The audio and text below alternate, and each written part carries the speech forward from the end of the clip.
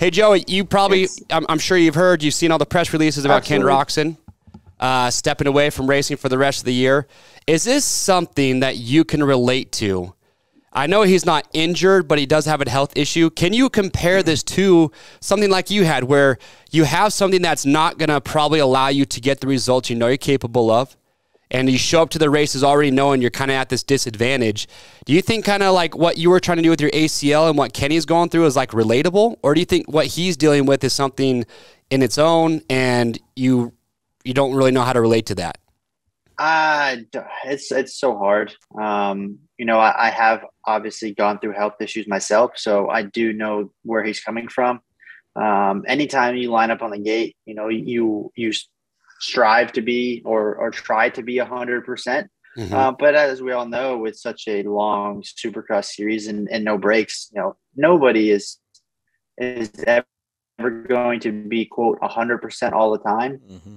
But you know, for me, I've dealt with my health issues. I think in 2016 outdoor series, and then towards the end of outdoor last year, I, I had some some stuff that was way off and, and way out of line. So I've dealt with health issues, but it's been during the outdoor series, which I do feel like is is probably the worst of the two. Just you know, with the heat, the length of the race, just just everything. Um, but I mean, you know, I don't know exactly what he's going through, but anytime you're not at 100, percent you know, it adds up. And being in this class right now, it's hard enough to be competitive when you are 100. percent You know, and then you take that illness and that illness might not be affecting him that much. Maybe he's only at 90%, but maybe that illness is is messing with his timing just a little bit, you know, and then maybe his body's not operating at 100% as far as from the muscle and everything else standpoint. Maybe his brain's off a little bit, maybe his reaction time's off a little bit. So, you know, all that stuff adds up.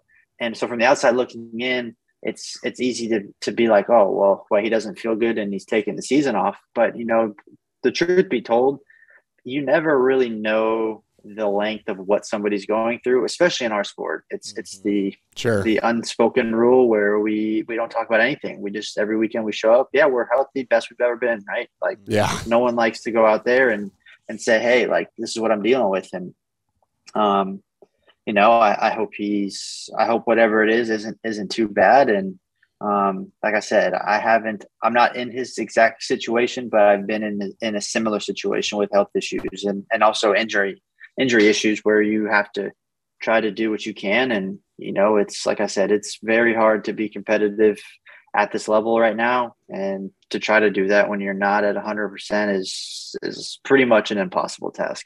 Sure.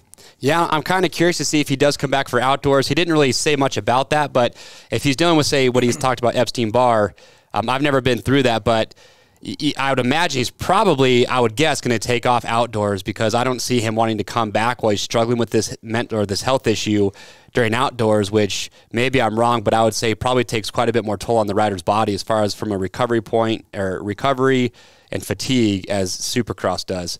But we'll, we'll see what happens yeah. with him.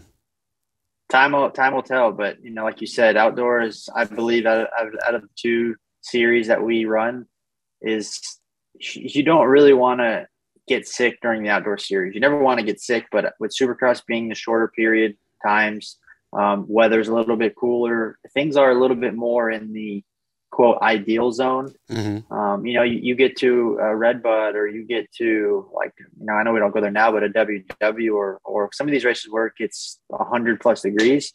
It's yeah, I mean, you're barking up a tree that's that you don't want to bark up. Right.